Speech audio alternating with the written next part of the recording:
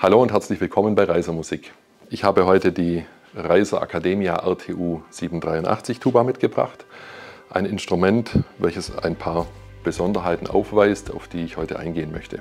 Zunächst ist die Tuba sehr, sehr kompakt gebaut. Wir haben mit 81 cm Höhe ein sehr kleines Instrument. Die Besonderheit ist aber, dass wir auf der anderen Seite eine Bohrung von 20,2 mm haben, was für eine Tuba in dieser Größe extrem weit ist. Dadurch hat die Tuba trotz ihrer geringen Bauhöhe einen vollen, satten Ton. Der Kenner in der Branche schaut die Tuba an und kennt vielleicht diesen Schnitt. Der Schnitt der Tuba kommt ursprünglich von der bekannten Germany Arion Tuba.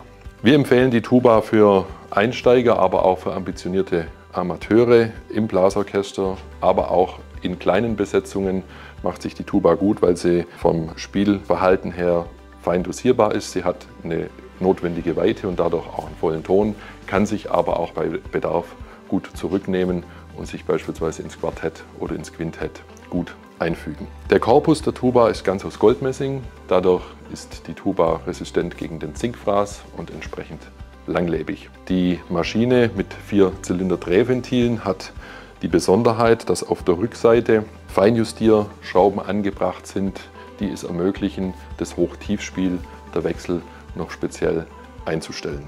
Die Neusilber-Innen- und Außenzüge sind korrosionsbeständig, sitzen nicht schnell fest und sind dadurch auch sehr langlebig.